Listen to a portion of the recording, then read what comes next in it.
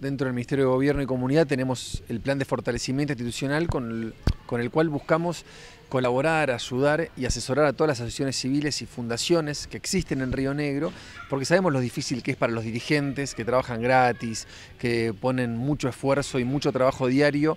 en llevar adelante sus instituciones y con un fin social muy importante porque esas instituciones lo que hacen es tratar de ayudar a la gente que más lo necesita. Ahora bien, también tienen que hacerse cargo de la administración de esa institución para que esté regularizada. Y nosotros desde el Ministerio creamos este plan de fortalecimiento para que eso sea algo mucho más sencillo, mucho más amigable y creamos una estructura que los acompañe en capacitaciones, pero también eh, flexibilizamos la normativa para que los papeles que tienen que presentar, las asambleas, las actas de, directores sean mucho más sencillas. Hoy en Chipoleti capacitamos a más de 90 instituciones eh, que nos acompañaron en el plan de fortalecimiento. Llevamos más de 300 instituciones regularizadas en la provincia. Hay más de 800 inscritas que van a estar regularizándose eh, en los próximos meses. Y esto es importante porque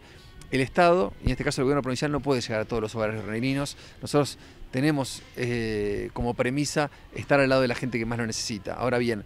es muy importante para nosotros tener instituciones fuertes en Río Negro porque son las que nos permiten llegar a esos hogares donde hay una necesidad, ya sea eh, em, instituciones del deporte, instituciones culturales, instituciones que trabajan con gente con discapacidad, instituciones que trabajan con adultos mayores, como son los centros jubilados que estuvieron hoy presentes acompañándonos, y nos permiten a nosotros desarrollar muchas políticas públicas para llegar a esos hogares. Y sin, sin instituciones fuertes eso no sería posible, y eso fue algo que la pandemia nos enseñó muchísimo, porque en la pandemia donde nosotros no podíamos estar en el territorio, que es algo que estamos acostumbrados a hacer desde el gobierno provincial, eran las instituciones las que nos marcaban las necesidades de la gente y el camino por el cual nosotros teníamos que transitar para poder estar al lado de cada rionegrino y rionegrina. Y este plan de fortalecimiento viene a cumplir con esas necesidades y esa demanda que tenían las instituciones con nosotros.